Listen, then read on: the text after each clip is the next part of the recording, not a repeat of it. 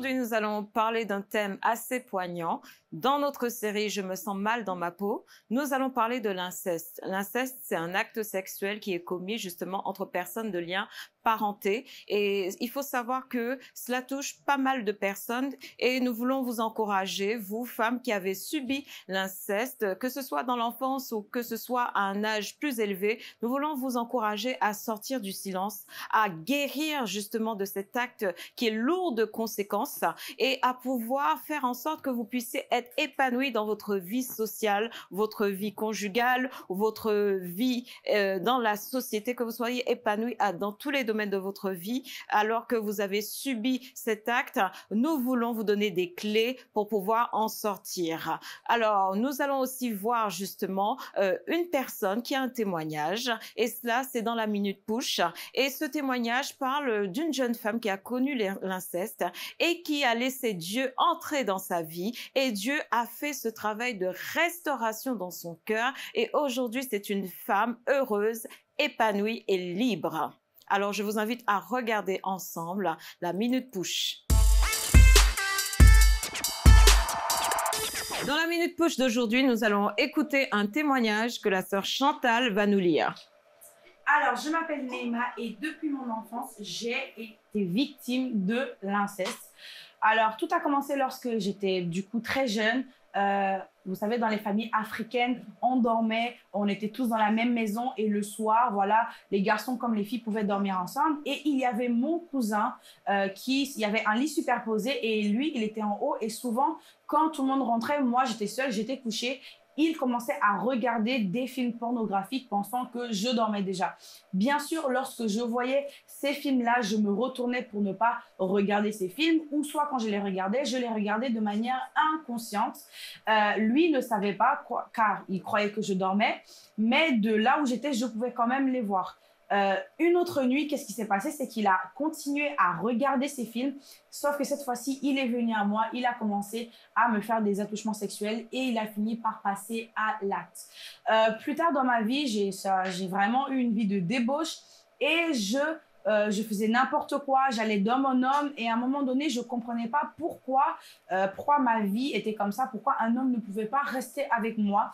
J'ai sincèrement commencé à me poser des questions étant donné que je suis issue d'une famille chrétienne, voilà, Jésus, j'en avais déjà entendu parler, mais euh, ma vie est commencé à vraiment être un chaos et je me suis posé cette question, j'ai dit, euh, Seigneur, je me suis adressée à Jésus, je ne sais plus exactement les mots euh, que j'ai employés, mais tout ce que je sais, c'est que j'ai été sincère avec le Seigneur Jésus, je lui ai parlé et je mhm. lui ai dit, Seigneur, j'ai besoin que tu fasses quelque chose, j'ai été sincère. Et là, gloire à, un moment donné, ce qui s'est passé, c'est que j'ai ressenti une paix au-dedans de moi, car je mmh, l'avais invité et il a commencé vraiment à faire son œuvre Certes, le processus de guérison n'a pas été fait instantanément, mais avec le Seigneur, j'ai pu être restaurée. Aujourd'hui, je suis complètement guérie car Dieu m'a restaurée. J'ai réussi à pardonner. Et aujourd'hui, je veux encourager une personne qui a peut-être vécu de l'inceste ou du viol euh, dans le cadre de l'inceste à vraiment parler avec Jésus, à l'inviter dans son mmh. cœur et à réellement lui faire confiance car lui, il vous écoute et il est capable de vous guérir. Voilà, c'était le témoignage que nous avons de la wow, Waouh, waouh, bah, Dieu est formidable. Hein. Il a fait une œuvre parfaite, merveilleuse, en tout cas dans sa vie, hein, puisqu'elle revient de loin. Elle euh, revient de loin. Et, dès son, jeune âge, dès son jeune âge et tout, elle a subi euh, cet inceste et ensuite elle a été de relation en relation, avec les hommes et ensuite, voilà, elle, c'est les conséquences de l'inceste effectivement. Et ensuite, elle a rencontré, elle a osé, demander à Jésus de pouvoir rentrer dans sa vie. Mm, Jésus mm, est rentré dans sa vie et Jésus a commencé à lui communiquer la paix. Et ensuite, le processus de la restauration a continué dans sa vie. Amen. Est-ce que ça, c'est pas formidable? Jusqu'à ce qu'elle est totalement guérie, elle peut même en témoigner maintenant. Waouh! Gloire à Dieu, pour ce merveilleux témoignage. En tout cas, que Dieu soit glorifié encore dans sa vie et que Dieu continue à faire des merveilles dans sa vie. Donc, pour vous dire, chers internautes, que si vous avez subi euh, ce genre d'acte sexuel, c'est important de pouvoir laisser Jésus entrer dans votre cœur et de pouvoir le laisser faire un travail de restauration dans votre cœur. Vous savez, il n'y a pas de cas impossible pour Dieu. Dieu est le Dieu des possibilités et il est capable de guérir toutes type de maladie, tout type de dégâts, tout type de conséquences qui peuvent en fait être néfastes dans notre vie. Dieu est capable de nous guérir de tout mot de là dans la société. D'accord? Amen. Amen. Amen. Donc sur ce, eh ben, nous vous disons merci de nous avoir regardés et je vous laisse regarder la suite de l'émission euh, sur l'inceste. À bientôt. Push me up. Exactement. Wow. Stop. What? Ah, magnifique. Wow. Bye. Bienvenue sur le plateau de l'émission Push Me Up. Nous sommes toujours dans notre série Je me sens mal dans ma peau. Et aujourd'hui, nous allons parler du volet de avec euh, les merveilleuses femmes que j'ai avec moi sur le plateau. Donc, à ma droite, j'ai la sœur Chantal. À côté de Chantal, j'ai la sœur Ingrid. Et à ma gauche, j'ai la sœur Angela. Et à côté d'Angela, j'ai la sœur Gladys. Alors, nous allons parler de ce thème parce que l'inceste a quand même beaucoup de lourdes conséquences, effectivement, dans la vie des personnes, que ce soit physique, mentale, sociale. Et c'est important d'en parler. Même la Bible en parle justement. Et nous allons essayer de vous donner des clés pour être guéri de l'inceste. Alors, nous allons déjà voir, en fait, la définition de l'inceste.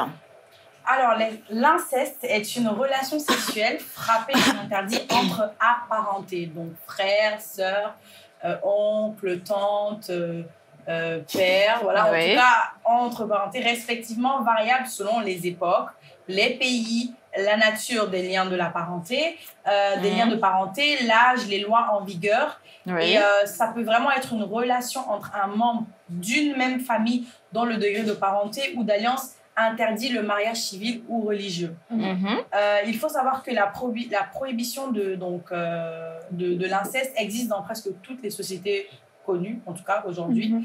Et Oui. euh, cette norme sociale est pour l'anthropologie un sujet majeur au point que, selon Claude Lévi-Strauss, ce serait même ce qui fonde une structure, ce qui fonde et structure les sociétés. Le Mhm. thème est également central à la théorie freudienne qui est un, euh, un philosophe. Donc c'est vraiment un sujet qui, euh, qui est beaucoup controversé, un sujet qui a beaucoup, beaucoup de... Comment on peut dire ça qui a beaucoup de, de branches, je peux branches, dire voilà, ça, c'est ça. qui a beaucoup de branches et qui on, on ne peut pas donner une seule définition de l'inceste parce que selon les cultures, Elle est les pays, elle, Ouais. elle varie d'un pays à l'autre, d'une culture à d'une l'autre. culture à l'autre. Il y Voilà, a aussi euh, les quand on adopte un enfant aussi. Mhm. Et Oui. euh, si euh, Il y a justement, relation il y a sexuelle. relation sexuelle, c'est considéré Comme de euh, selon la loi française comme de l'inceste. Mhm. C'est ça, D'accord. Donc ça c'est aussi important à préciser, d'accord, Mhm. parce qu'on peut se dire on peut se dire que comme il n'y a pas de, de lien de de sang, euh, mhm. que peut-être que ce n'est pas de l'inceste, mais au regard de la loi française la en loi tout cas, c'est de l'inceste. Et on Mhm. sait aussi dans l'histoire de la France, euh, il y avait beaucoup d'inceste, c'est ça Gladys oui, oui. Non, je savais pas que tu allais m'interroger. Alors qu'est-ce que tu peux nous dire Euh, par rapport à ça? Par rapport à l'histoire de France, c'est vrai qu'il y a eu beaucoup d'inceste euh, en termes bah, entre les rois, puisque les riches se mariaient avec les riches, les nobles avec les nobles, Oui. ou de la même famille en général. Et euh, bah, on- quand on retrace l'histoire française, il y a eu beaucoup d'inceste dans, euh, dans, dans la France. D'accord. D'accord, ok. Et moi, j'aimerais rajouter dans le sens où c'est vrai qu'il y a souvent pas mal de gens qui se demandent Ouais, mais c'est quoi l'inceste? Est-ce que c'est juste entre parents, etc. et tout? Alors, il y a entre frères et sœurs, qu'ils soient 100% ou demi, Mhm. ça c'est interdit. Il y a entre grands-parents et petits-enfants, c'est interdit. Alors, c'est quand même terrible. c'est quand même terrible, c'est ça. Petit enfant. Oncle, tante, neveu, nièce, c'est interdit.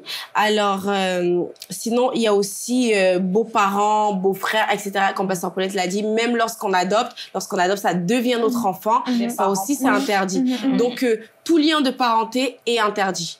Et Mhm. puis, euh, si je peux rajouter quelque chose par rapport à ça, c'est que dans certaines coutumes, l'inceste est légitimé sans vraiment que eux ils ne réalisent que c'est de l'inceste. Mhm. Euh, moi, je viens du Gabon et il y a une ethnie particulière où en fait le grand-père peut épouser sa petite fille en fait. Ouh là là. C'est de l'inceste, Oui. mais eux, vu que c'est la culture, c'est la coutume, Mm. c'est, c'est, ce sont les traditions, ils ne le réalisent pas en fait. Mhm. Mais d'un point de vue déjà de la loi, que ce soit de la Mm. loi ou même la Bible elle-même aussi qui interdit Mhm. l'inceste, ils pensent que c'est bien, mais alors que ce n'est pas bien. Donc il y a des coutumes qui vont être là où les hommes vont penser que ce qu'ils font est bien, bien, parce que la coutume le légitimise en fait. La Ouais. coutume te dit que c'est bien, tu peux épouser euh, c'est ton grand-père ou quoi. Alors Quand que on est non. chrétien, euh, ce qui, pré- qui va prévaloir, C'est la parole de de Dieu. Dieu C'est la Bible. par rapport à la Exactement. culture. Donc Mhm. justement, par rapport à la Bible, est-ce qu'on a des versets bibliques qui nous parlent de l'inceste, justement? Tout à fait. Et pour euh, rebondir sur, sur ce que vous disiez par rapport aux grands-parents, etc., Mhm. Dans Lévitique 18 au verset 10, la Bible dit Tu ne découvriras point la nudité de la fille de ton fils ou de la fille de ta, vie, de ta fille, car c'est ta nudité en fait. Il y a Mhm. d'autres personnes qui vont dire aussi dans Lévitique, euh, verset 18, chapitre 10 à 12, Nul de vous ne s'approchera de sa parente pour découvrir sa nudité. Mhm. Ici, on parle en fait, quand on parle de s'approcher de sa parente, on parle de relations sexuelles en fait. Mhm. Mhm. Et euh, je suis, il dit, je suis l'Éternel, tu ne découvriras point la nudité de ton père, ni la nudité de, De ta, ta mère, mère. car c'est ta mère, tu ne découvriras point sa nudité, c'est ton père, tu ne découvriras point sa nudité. nudité. Il y a euh, au moins plus de dix versets bibliques concernant Non, euh, euh, voilà, et c'est, ce Et sont, euh, donc c'est très, euh, interdit, c'est interdit. interdit. Et d'ailleurs, on va dire que la punition était quand même la malédiction. Quand la Bible va Mm. dire, par exemple, dans Deutéronome 27, Maudit soit celui qui couche avec la femme Mm. de son père, car il soulève la couverture de son père. Mhm. Et tout le peuple dira Amen. Maudit soit celui qui couche avec une bête quelconque. Voilà, là, on parle déjà de Oui. zoophilie, mais bon, c'est pas le thème Voilà. aujourd'hui. Oui. Mais en tout cas, ce qui est sûr, c'est que voilà, il y a beaucoup Mm. de versets qui parlent euh, de la, cela. de la Et, et en fait, il y a, y y effectivement des conséquences à cela. Bien parce que sûr. Oui, les Exactement. ensemble quand Oui. ils ont un Mhm. enfant. Cet enfant-là peut être ça. malade, Malade, justement. Mhm. Et donc, Il va euh, avoir voilà, des Dieu sait malformations, pourquoi, en fait. Exactement, Dieu Mhm. sait pourquoi il interdit effectivement euh, de coucher entre parents parce que euh, le fait d'avoir le même sang, Mhm. euh, c'est- pas bon. Après, ça donne des enfants qui sont euh, qui Ouais. ont des maladies, euh, qui développent des Je trouve maladies. ça quand même très grave parce qu'en fait, lorsqu'on voit l'aspect de ces enfants-là, je trouve ça quand même très irresponsable, sans juger ceux qui le font, très irresponsable en fait de coucher avec euh, une femme qui est parentée à, à soi et en fait ne pas penser en fait aux répercussions pour l'enfant. C'est-à-dire qu'il y en a et quand l'enfant il est là, bah il est comme ça et enfin je veux dire c'est quand même euh, très irresponsable de faire ça. Et est-ce que c'est pas, euh, comment dire, inspiré par le monde des ténèbres? Je sais toujours j'ai posé cette question en fait. L'inceste au final. Bah, ça peut être inspiré par euh, le monde des ténèbres Mhm, mhm. et ça peut être aussi des l'assouvissement de désirs charnels. Mm. C'est ça. mhm. Voilà. Il y a Bon, parce de que- cultures qui le font. hein. Oui. Oui. Par exemple, au Maroc, euh, parce que j'avais des voisins euh, marocains, Mhm. ils étaient cousins, je ne savais pas, parce que je trouvais leurs enfants bizarres. Ah oui? Non, j'étais vraiment c'était bizarre dans la famille. Et c'est après, j'ai appris que c'était des cousins qui se sont mariés de force. Et du coup, bah, le plus Mm. petit, c'était en- il est devenu handicapé. La plus grande, bah, elle était bizarre, très Ah oui. bizarre. Mhm, mhm. Et du coup, bah, je me suis dit, bah, c'est c'est dégueulasse. Ah bah oui, Ah les bah oui. conséquences derrière, Ah parce que c'est des vies aussi, les enfants n'ont rien Bah demandé. ça, Bah, le fait qu'ils soient là, bah, ils vont subir la, les, Les choix que les parents voilà, de, de... ont eu à faire de de, ce... parents, oui. Puis c'est vrai que c'est une insoumission à la parole de, De Dieu, en Dieu, en fait, réalité. Donc euh, on Mhm. résiste un peu à Dieu, on lui montre Mhm. que on va quand même le faire et euh, bah il y a des conséquences très Exactement. graves. Et ça démontre vraiment que Dieu a établi des, pr- des principes. Oui. Il faut les respecter, chrétiens ou pas chrétiens. Ça touche tout le monde en fait. Ça touche tous les hommes qui sont sur la terre. Donc Bah, c'est sûr, hein. c'est si vous, ce sont des lois. ce sont hein. des lois, c'est ça. Ce sont des lois et quand on enfreint la loi, effectivement, Bah il y a des conséquences, conséquences, derrière en fait. Effectivement. Mhm. Donc, euh, on peut voir que effectivement, ça, ça peut euh, aussi détruire des vies quand on est victime Mhm. d'inceste. Mhm.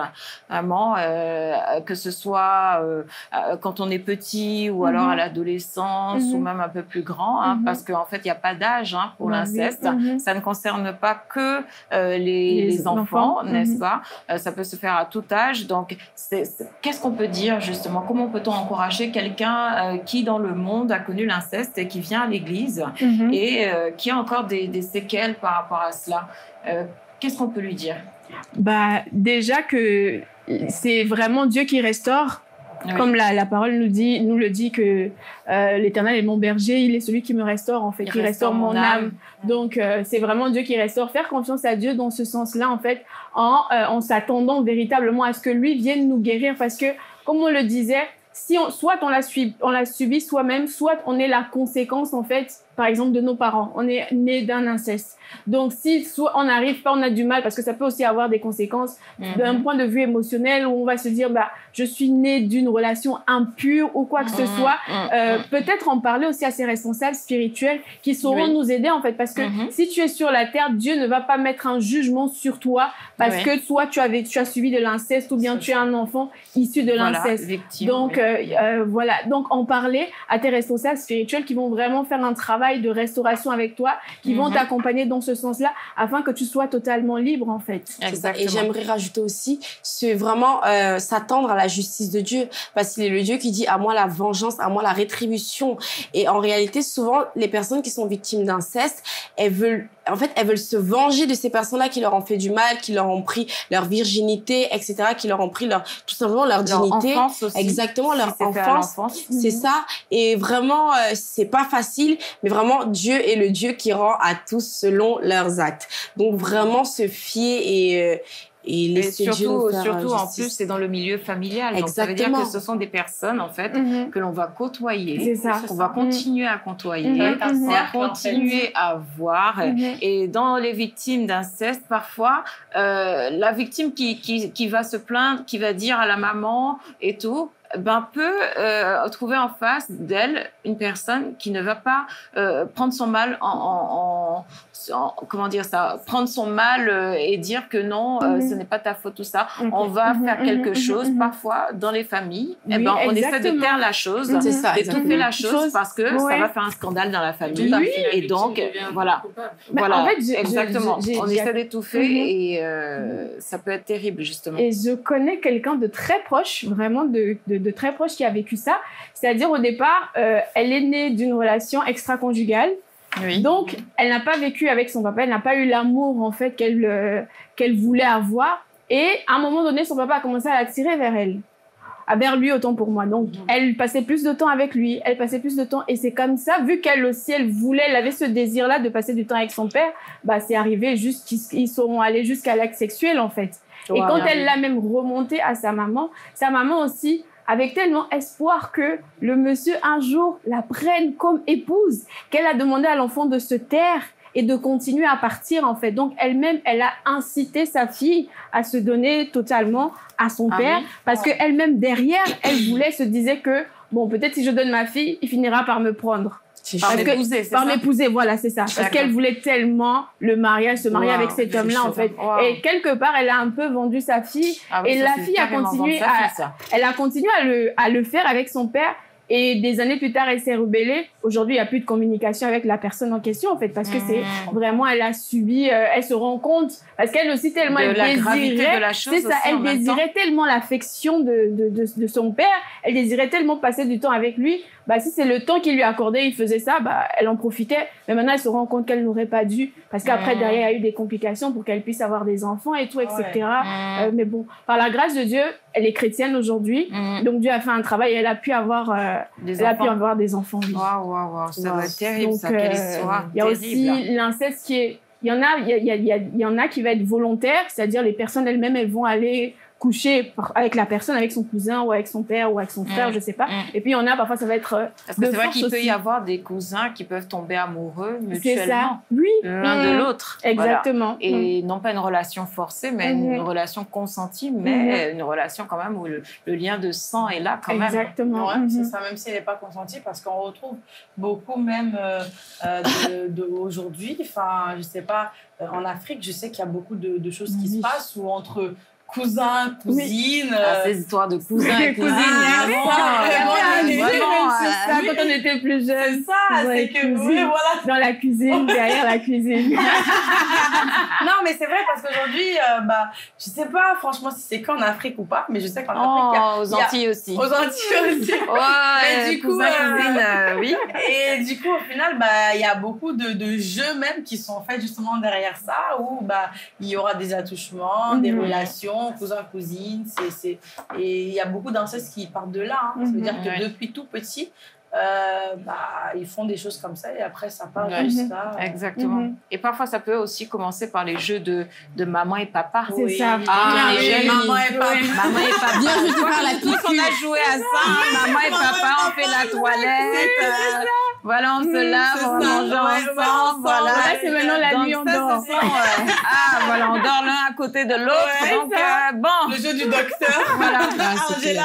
Ah oui, elle a dit. Ah oui, Non, parce qu'il y a ça, maman, papa. Il y, avait plein de jeux comme oui, ça. comme qui, ça. euh, les enfants, bah, entre eux, ils jouent. Et, les parents, il faut faire attention. bah oui, parce que jeu de papa et maman, euh, ils peuvent se toucher. Bah oui, hein, justement, parce qu'en plus, quand t'es parce qu'on petit, essaie de faire la même chose que même chose, maman, maman et maman ça.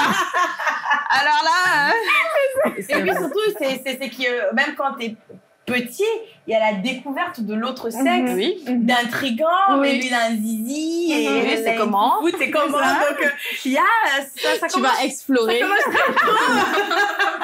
ça, c'est c'est que vraiment voilà c'est peut-être innocent quand c'est Mhm. petit Oui.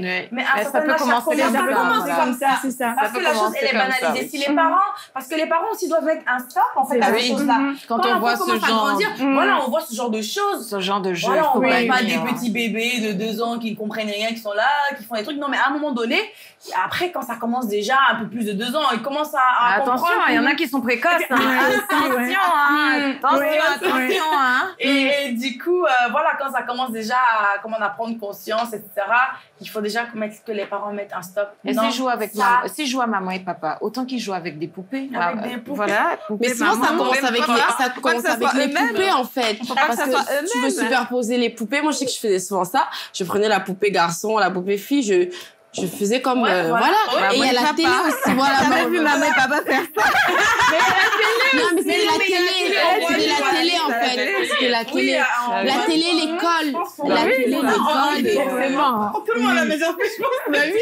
Ah oui, on a tous joué à ça. Mais sauf que les gens se rendent pas compte, beaucoup de parents ne se rendent pas compte que les choses incestueuses partent de là aussi. Mhm. Quand ce n'est pas surveillé, Mhm. après ce n'est pas maîtrisé, et les enfants, ben, ils continuent dans leur euh, quête de découverte, Mhm. mais découverte qui devient malsaine au final Oui. quand il n'y a pas de restriction. C'est les parents qui sont là pour faire ça. Mhm. Pour dire non, là, de mettre les barrières, non, là, c'est pas bon, là, faut, on ne Mhm. dépasse pas là, non, là, c'est c'est un sexe opposé, c'est ta cousine, c'est ceci, c'est ta sœur, on fait pas ça, on ne touche pas là-bas.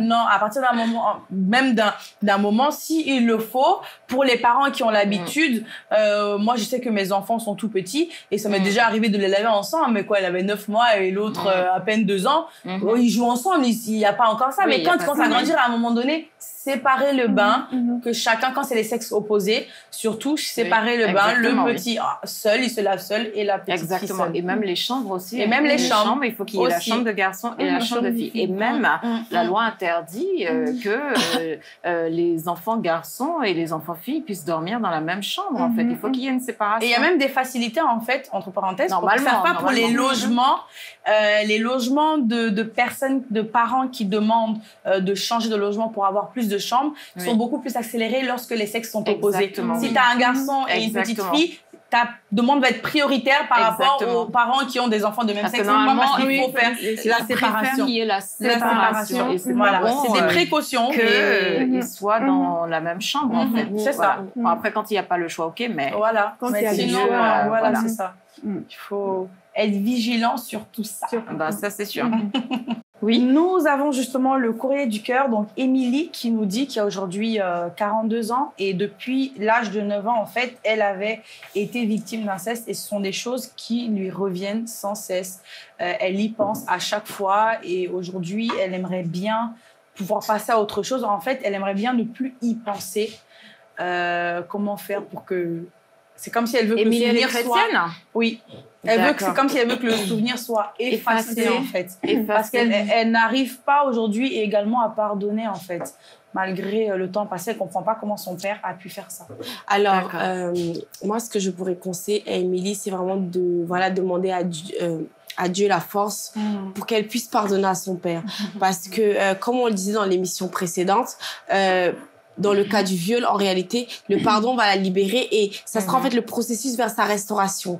Mais il faut d'abord qu'elle pardonne parce que Dieu, enfin Dieu c'est un Dieu d'ordre et Dieu agit là où il y a le pardon, l'amour, etc. et tout. On peut pas, enfin garder rancune même si c'est Mhm. très difficile. On peut pas vivre dans la rancune et vouloir que Dieu nous restaure en réalité. Vous voyez ce que je veux dire? Oui, oui, oui. En fait, Dieu va marcher là où il y a de l'ordre en réalité et là où bah il peut agir dans la paix, l'amour et surtout le pardon. Donc moi je dirais dit à Émilie, c'est ça, voilà, Mhm. de demander la force à Dieu de De pouvoir de pardonner pouvoir à qu'elle puisse pardonner père. à son père et après voilà de se rapprocher vers ses responsables s'ils peuvent l'aider spirituels voilà. S'ils peuvent l'aider à prier à surmonter cela il faut aussi qu'elle parle qu'elle ne se renferme pas sur elle parce que le fait de parler parler oui Mhm. voilà va la libérer en réalité. Exactement. Et puis, il faut qu'elle euh, qu'elle arrive euh, à euh, faire en sorte que les pensées, quand elles viennent, euh, Mhm. qu'elle puisse chasser ces pensées-là et Mhm. penser à autre chose. Mhm. Et euh, vraiment qu'elle qu'elle soit dans ce processus de pardon, comme elle a dit, hein, Angela. Mhm. Euh, je crois que c'est la base, hein, la base dans tout acte de violence justement qu'on subit,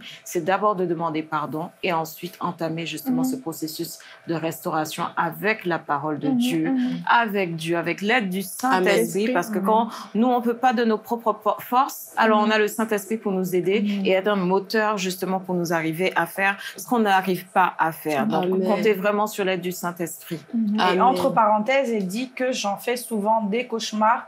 Et aujourd'hui, j'ai l'impression que la seule issue, c'est de peut-être porter plainte parce qu'elle ne sait pas en fait. Elle a envie depuis des années, elle hésite De parce que porter plainte oui, parce que c'est quand même son père. Elle ne veut pas, mais elle, euh, elle a quand même en fait euh, cette idée en tête de le faire et elle pense que ça va la libérer de ce poids. Alors, euh, par rapport au fait des cauchemars, moi je dirais en réalité que le non-pardon donne la légitimité au diable aussi de nous attaquer. C'est-à-dire en fait que vu qu'on est dans la rancune, euh, toutes ces toutes ces choses-là en réalité, ce qui fait en fait que bah ce sont des flèches enflammées de l'ennemi en réalité. Mhm. Et bah vu qu'on est dans une atmosphère où il n'y a pas de pardon, Mhm. bah le diable il opère facilement et donc il attaque dans les cauchemars en réalité pour pour la garder dans cette captivité là et pour qu'elle pense en réalité que bah elle ne s'en sortira pas en fait. Mhm. Moi je pense que c'est une des ruses du diable, il nous voile comme ça lorsqu'on ne marche pas dans le pardon, Mhm. bah on va sans cesse être là en train de ressasser, s'apitoyer etc et tout et c'est toutes ces Mhm. choses là en fait qui qui se transmettent dans les rêves.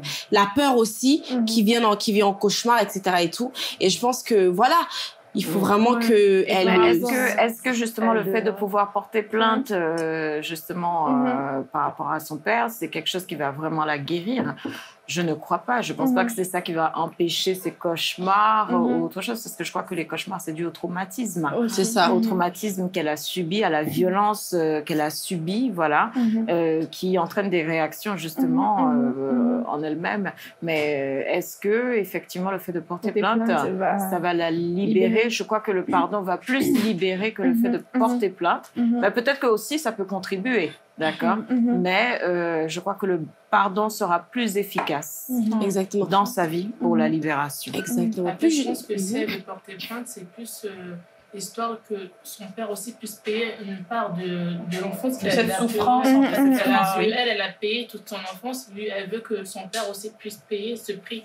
Oui. Mais le problème dans ça, c'est quoi? C'est en réalité, là, je pense en fait que ce n'est pas mauvais. Je ne juge pas les gens qui vont aller porter plainte, mais Dieu Et dit bien à sûr, elle lui, est libre la- de le faire, Voilà, hein. elle est libre de le Elle faire. est libre de le À lui faire. la vengeance, à lui la rétribution. Souvent, en fait, ces personnes-là, lorsqu'ils portent plainte et que, par exemple, le père, il va écoper de certaines années de prison, en réalité, c'est une satisfaction qui est euh, temporaire. Mhm. Mais en réalité, ça ne résout pas, Pas le- le, ça ne problème. ça ne guérit pas, en oui. fait, la, la Voilà. blessure. Je pense même Puis- que dans son cas, euh, porter plainte, ça va plus lui faire plus de mal qu'autre chose. Parce Exactement. que en termes de justice, ça, il n'ira nulle part. Son père, à part un petit sourcil, un Bien sûr, ça fait des années, ça fait quand même des années. C'était C'était Voilà, il y a l'âge de preuve. 9 ans. Puis en réalité- l'âge de 9 ans et aujourd'hui elle a 42 ans. Donc Puis en réalité, ça lui fera pas plus de bien que ça parce qu'en fait, c'est son père. Et il faut savoir en fait qu'il y a un lien. Il y a le lien de sang qui fait en réalité que, bah, voilà, ça va être un plaisir. Oui, voilà, il est copé ou il y a un sursis, etc. et tout. Mais ça lui fera plus de mal que ça parce qu'en réalité, il y a toujours cette compassion-là,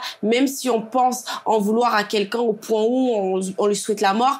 Mais au fond de nous, lorsque c'est un parent, il y a toujours cet amour-là, en réalité, je pense, qui va un peu renaître et en fait, tu auras de la peine Pas forcément. Il y a des personnes qui sont, Il y en qui a qui n'ont vraiment pas la la peine, rage hein. et la haine. La haine, Il n'y a oui. aucun qui amour. la. C'est la rancune et de la rage Ça. qui sort parce que la Oui. personne, bah, et je peux essayer de me mettre à sa place. C'est, c'est carrément, Oui, c'est inimaginable, quoi. Ce Bien sont des choses que je n'arrive sûr. même pas à imaginer. Donc, euh, quelqu'un qui, surtout par son père, quoi, ça veut dire, mais non seulement, déjà, regardez, lorsque on vit des situations où nos parents, on estime aujourd'hui qu'ils ont fait des erreurs, parfois on leur en veut. Déjà, on leur en veut pourquoi? Il s'est pas Alors comporté. ça- Alors ça, c'est ça, ça va même pas euh, de la responsabilité. C'est carrément, euh, euh, voilà, c'est tu mets un enfant au monde pour euh, pouvoir, euh, Mm. voilà, c'est c'est vraiment. Je pense qu'à ce moment-là, il n'y a pas d'amour. Peut-être qu'il relève vraiment Ignoble, après la, hein. la. Ouais, c'est très ça. ça. Mais comme Gladys dit, c'est vrai qu'en réalité, par rapport à la justice, à part. euh, Il n'y aura pas forcément de. Voilà. Elle va de- plus se faire du mal que autre chose. C'est Mhm. ça. Parce qu'en termes, elle va, en fait, elle va avoir cette impression que la justice défend la- euh, le coupable. Mhm. Alors Mhm. qu'il n'y a pas de preuve, il n'y a rien. euh, tu veux qu'il fasse quoi pour toi? C'est vrai. Mhm. Affaire classée et on... Sans suite. Et puis voilà. C'est vrai. C'est dommage. D'accord, très bien. Alors, on va parler des conséquences hein, que peuvent avoir l'inceste dans la vie d'une personne. Euh, quand les actes se font justement dans l'enfance et tout, euh, et la nuit, il peut y avoir la peur de se retrouver seul dans le noir qui peut se développer, de dormir seul, les cauchemars, les Mhm. peurs nocturnes, d'accord euh, ça peut être aussi l'aliénation à l'intérieur de son propre corps, l'incapacité à prendre en compte des signaux de son corps, d'accord, une mauvaise image de son corps. Euh, ça peut être aussi des problèmes euh, qu'on peut avoir au niveau euh, de, des addictions, addictions alimentaires pour essayer de combler Mhm. le mal-être, Mhm. des Mhm. addictions au niveau de l'alcool pour combler le mal-être, Mhm. les addictions au niveau de la drogue aussi Mhm. pour combler ce mal-être et d'autres dépendances qu'il peut y avoir. Ça peut être aussi le fait de pouvoir, euh, en fait, avoir euh, des phobies aussi, des envies suicidaires, euh, de pleurer sans raison apparente, parce que c'est vrai que quand les pensées remontent, quand les, les actes, les images remontent, voilà, euh, on peut aussi beaucoup pleurer euh, et même rien. En fait, on peut se mettre dans des états, on comprend pas pourquoi, mais c'est dans l'inconscience et tout ça. On peut se sentir mal dans la journée, on ne sait pas pourquoi, mais parfois c'est ça parce que c'est sous-ja- sous-jacent, d'accord? Donc, on peut avoir aussi euh, des problèmes de colère, d'accord Parce que si, et surtout justement quand on ne parle pas, on parle pas quand on subit ces choses-là dans l'enfance Mhm. et qu'on n'en parle pas, Mhm. ça peut mettre une certaine colère en nous et avoir Mhm. des problèmes de Mhm. colère en fait. Mhm. Et euh, développer justement euh, le caractère colérique hein, Mhm. chez certaines personnes. Donc, euh, ça peut aussi euh, emmener aussi, euh, en fait, euh, à l'égard du sexe opposé aussi une certaine colère, une certaine Mhm. haine Mhm. aussi, hein, une certaine haine envers les hommes, voilà, pour les femmes qui ont subi euh, des incestes et tout. Mhm. Euh, une incompréhension de, de, de l'homme, quoi. Pourquoi l'homme il, il fait ça Mhm. et, et développer justement une colère pour l'homme.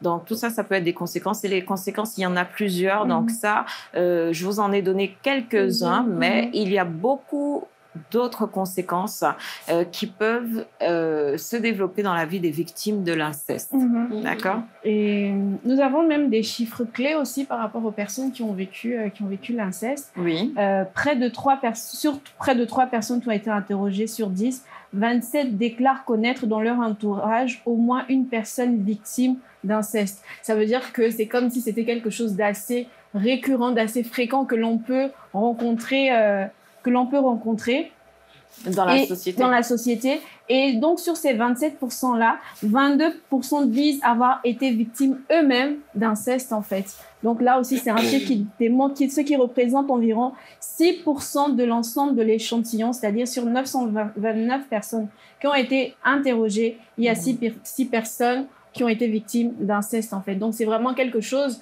euh, d'assez récurrent qu'on peut rencontrer, que ce soit même le voisin d'immeuble, que ce soit même dans Mhm. notre entourage, dans notre famille ou même les collègues au boulot. C'est vraiment quelque chose qui est assez récurrent et il n'y a pas véritablement de loi qui pénalise les personnes qui font de l'inceste. C'est vrai que c'est interdit, mais c'est seulement depuis 2016 qu'il y a une loi qui, a- qui est- qui a- qui a été, euh, qui a été votée par, euh, par l'Assemblée nationale. Mais malgré ça, ça ne condamne pas véritablement les personnes qui vont faire l'inceste, l'inceste, à- qui vont avoir euh, des Mhm. rapports avec leur enfant ou euh, quelqu'un de leur famille en fait. Donc c'est encore un sujet qui est assez euh, non Tabou. pas qu'il soit non pas qu'il soit tabou parce qu'il est réel, il existe et c'est depuis même des générations. Mais c'est juste que peut-être vu que parfois ça va être consentant entre cousins et cousines, ils vont aller, on en a parlé tout à l'heure en début Ou alors, comme c'est dans la famille, ou c'est dans la famille, on essaie de cacher, de, de cacher en fait. de ne ça. pas exposer, Mais alors que c'est quelque de chose ne qui pas existe. emmener les choses jusqu'au Mhm. domaine judiciaire, Mhm, mhm, d'accord mais de exact. régler ça en à famille, l'amiable. euh, à l'amiable, en famille. Donc, du Alors coup, que c'est même pas vraiment réglé à l'amiable parce que les gens vont vivre ça toute leur vie en fait. exactement. Ils vont vivre avec, on a l'exemple d'Émilie qui a écrit le courrier et il y a pl- plusieurs autres personnes qui l'ont Mm. vécu et c'est là toute la vie. Ça veut dire que tant que Dieu ne sera pas venu faire le travail de restauration dans ce sens-là, ben on vit avec ça, on évolue avec ça et on développe toutes les conséquences que tu as pu, euh, que tu as pu citer par exemple par rapport à l'inceste sans forcément le vouloir en fait. Donc Mm. vraiment aussi encourager ces femmes-là qui ont vécu l'inceste à se tourner vers le Seigneur parce que que vous soyez chrétienne ou pas, même Mhm. seule dans votre chambre, vous pouvez faire appel à Dieu, dire à Dieu Mhm. que bon Seigneur, j'ai vécu telle chose dans mon enfance, j'ai vécu l'inceste et là vraiment je le vois partout. J'ai envie de m'en Et libérer dire en à fait. ces personnes, ces personnes qui ne connaissent pas Dieu que ce Mhm. n'est pas de la faute de, de Dieu, c'est ça. Ce n'est pas de la faute de Dieu. aussi Dieu. Il y a Mhm. Dieu, mais il y a aussi le diable. C'est qui ça. inspire des hommes à faire des comportements Exactement. abominables, d'accord. Donc, il ne faut pas remettre la faute Des sur hommes ou Dieu. des femmes. Ou des femmes oui, aussi, bien sûr. Des hommes ou des femmes. Oui, on veut être équilibré hein, pour ne pas recevoir des pierres des hommes, n'est-ce pas Mais bon, Non, c'est une émission des des femmes, femmes donc on s'adresse sont, euh, aux femmes. Donc, Mhm. chers hommes, je crois que vous allez comprendre. effectivement. D'accord C'est vrai que lorsqu'on est non chrétien, on a cette facilité à accuser Dieu vite. Moi, je me rappelle avant, c'était c'était ça. Quand j'avais un problème, c'est c'est de la faute de Dieu.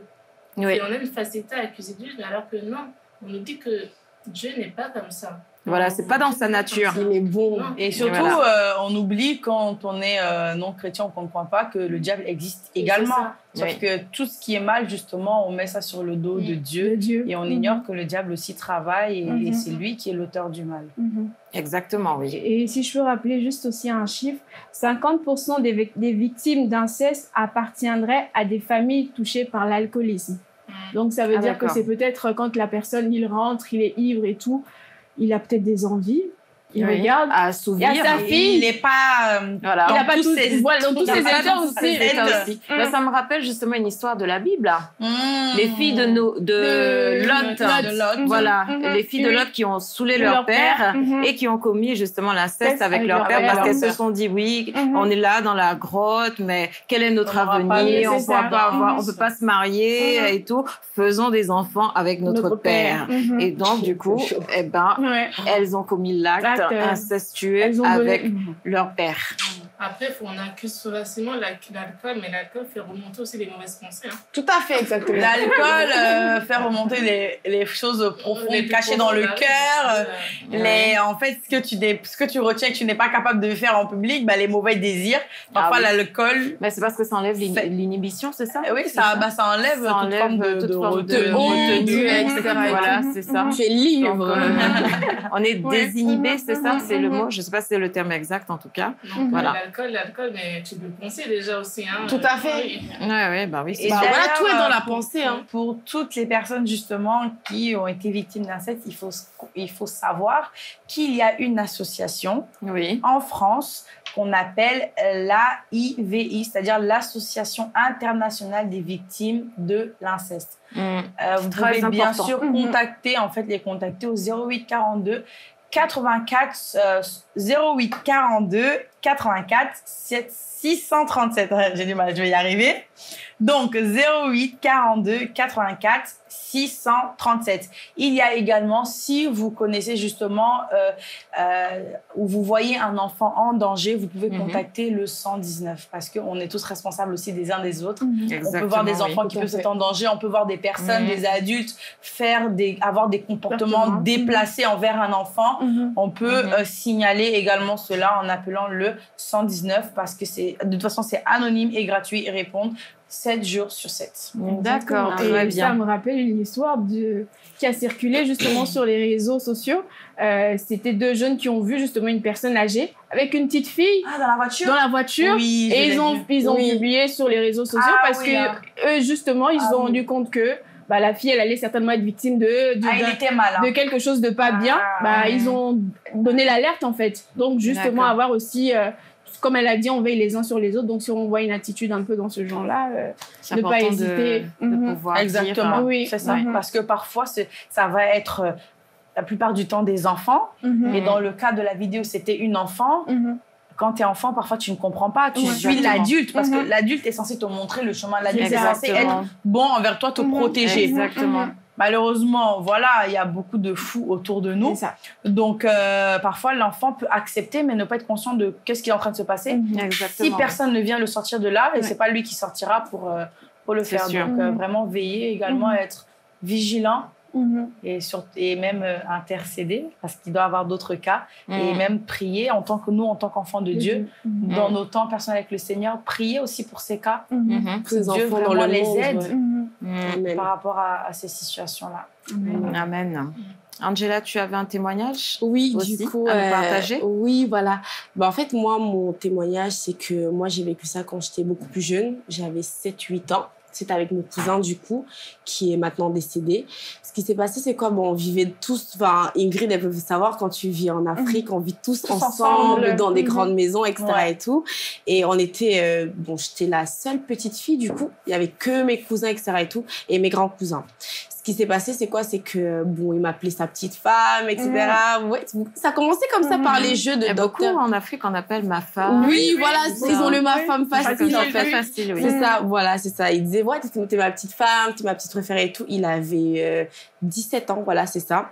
Un gaillard très grand, de- très costaud, etc. et tout. Et moi, voilà, euh, toute menue et toute tout. menue, etc. et tout, voilà. ouais. C'est ça. Et euh, ce qui se passait, c'est quoi? C'est que bah, au début, ça commençait en fait comme ça. Voilà, t'es ma petite femme, tu viens dormir avec nous, etc. et tout. Et c'est vrai en fait que bah, ça avait commencé par des attouchements. Ensuite, ça avait commencé bah, par euh, ça, du coup. Je sais pas si je peux parler. euh, De l'acte, en fait. Oui, Ouais, voilà, ouais, c'est ça. Voilà, c'est ça. c'est ça. Et après, c'était souvent. En fait, ça s'est reproduit pendant, pendant des mois en réalité. Mhm. Et c'est vrai en fait que bah, je comprenais pas parce qu'en fait, il me disait bah, c'était des jeux et qu'il fallait pas le dire en réalité. Il fallait pas le. Il dire. a fait passer ça C'était sous, sous le jeu de papa et sous maman, le jeu de papa et maman. Mhm. Et c'est vrai que bah, souvent, je pleurais. Je me disais, ouais, mais j'ai mal, etc. et tout. Je pleurais en fait Mhm, parce que ça me faisait très mal. Et euh, c'est vraiment un gaillard. Vous savez que les grands gaillards, voilà. Et. euh, mais Et on dira pas plus. Hein. on fera pas plus de commentaires. hein. et- et- qu'on a Et, tout euh, voilà. Et du coup, en fait, ce qui fait que bah, ça s'est reproduit et euh, ce qui fait en fait que bah, il y avait les adultes à la maison, mais, en fait, chacun va qu'à ses occupations, chacun fait sa vie. Puis on sait qu'on est en famille, du coup, ce genre de choses, personne ne Mhm. peut avoir l'idée. Du coup, ce qui fait en fait que bah moi je disais ouais, mais moi je vais aller dire et tout, parce que c'était la sœur de ma mère qui était là à ce moment. Euh, du coup, je disais ouais, je vais aller dire et tout. Il me disait non, si tu dis, je vais te taper et tout, etc. Du coup, j'avais un peu peur. Il te menaçait. Il me menaçait un peu, mais c'était de la menace euh, subtile. C'est en mode, tu sais que tu es ma femme, comment tu vas aller dire et tout? Mais si tu Mhm. dis, voilà, je vais taper, hein. Ouais, c'est en Mhm. fait, c'est comme ça. Et quand tu es petite, tu sais que c'est ton cousin, etc. et tout. Donc, enfin, tu te dis qu'il t'aime bien en réalité. Et ça s'est reproduit comme ça pendant des mois, etc. et tout, jusqu'à en fait qu'il est mort euh, tragiquement. Subitement, en fait, il, est, il a été décédé. Bah, les conditions, euh, je sais pas si on dit comme ça, les. euh, comment on dit, les détails de sa mort, on va dire, Mhm. c'était vraiment très bizarre parce qu'en réalité, en fait, sa jambe avait commencé à pourrir jusqu'à son sexe. En fait, ça avait commencé à pourrir, genre, euh, quelques semaines après que ces choses-là se sont reproduites. Mhm. Bah, ça s'est produit sous des mois, mais après, au bout d'un moment, euh, en fait, il est mort tellement vite, en une semaine, en fait, il est mort. Mhm. Et euh, du coup, ce qui fait en fait que bah, la famille n'avait pas compris, on accusait la sorcellerie, etc. et tout. Bon, moi, j'avais pas compris en réalité sur le moment, j'étais toute petite, etc. et tout. Et je l'ai dit à ma tante avant qu'elle ne meure. Elle était très malade. C'était vraiment euh, trois, quatre ans après. Parce que justement, en fait, j'avais peur parce que je me disais, si je dis, j'ai promis, peut-être son esprit va venir m'attaquer. Vous Mhm. savez qu'on est Mhm. petite, on s'imagine Mhm. tout un tas de choses et tout.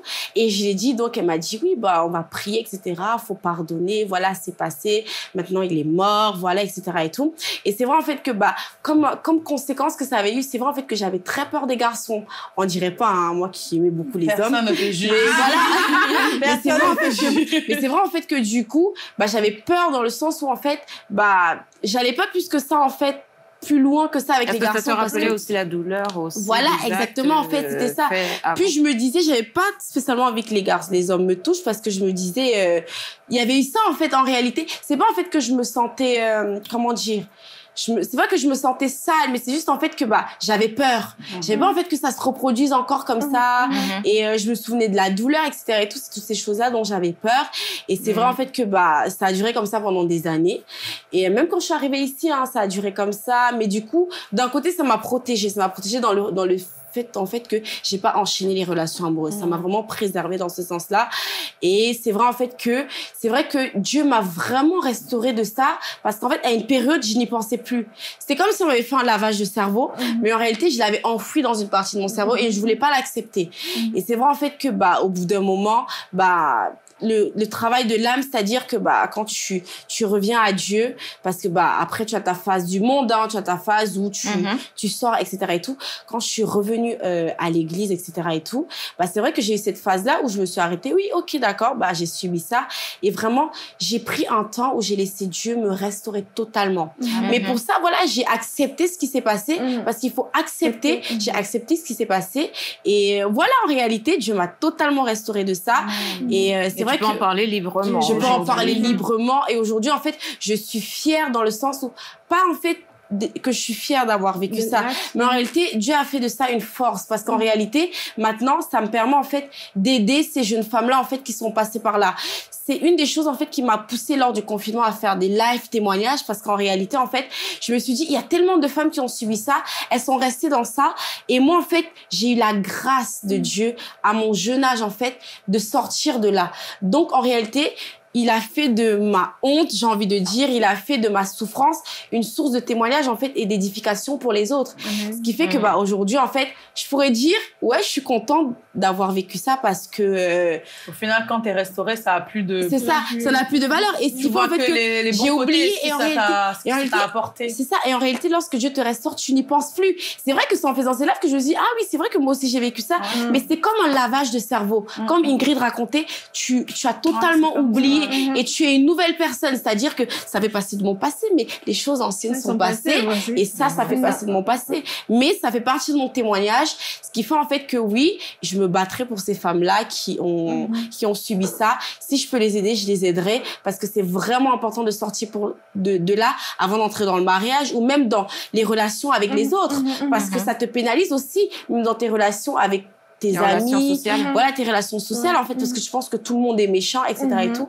Et c'est vrai aussi que, je l'ai pas dit, mais j'étais beaucoup sur la défensive. Je me rendais pas compte, en fait, que c'était par rapport à ça. Mais euh, lorsqu'un garçon venait me draguer, il était un peu trop... J'allais l'insulter, j'allais trop... Trop nerveuse, en fait. Trop je sauvage. Trop sauvage, en fait, parce que... Parce qu'il y avait eu cet impact-là, en fait, que ces choses-là avaient fait. Et euh, c'est vrai que non, vraiment, euh, Dieu est bon, Dieu est fidèle. Et aujourd'hui, Amen. euh, Amen. je suis Tu as été restaurée euh, complètement. Amen. Amen, amen, amen. Donc nous allons prier, profiter de ces temps de témoignage et prier justement Ah. pour toutes ces femmes qui ont subi l'inceste et leur dire en fait que Dieu est capable de vous restaurer complètement de la Amen. tête aux pieds et faire en sorte que vous puissiez repartir avec nouvelle vigueur, nouvelle force et que vous puissiez accomplir la destinée à laquelle Dieu vous a appelé. Amen. Alors on va élever la voix tout ensemble et prier justement pour ces femmes. Père éternel, merci Seigneur parce que Seigneur tu nous as donné Seigneur ton Esprit Saint en nous. Seigneur, merci pour ta parole qui nous restaure, ta parole qui guérit nos cœurs brisés. Seigneur, nous te prions, Seigneur, pour toutes ces personnes qui ont subi ces incestes. Merci parce que, Seigneur, quand elles se présentent devant toi, Seigneur, je prie, Seigneur, que ce travail de restauration soit fait avec toi. Seigneur, que tu puisses déverser, Seigneur, ton onction, ton huile qui va venir guérir les cœurs brisés. Que cette huile coule, Seigneur, dans leur vie et que cette huile amène la guérison.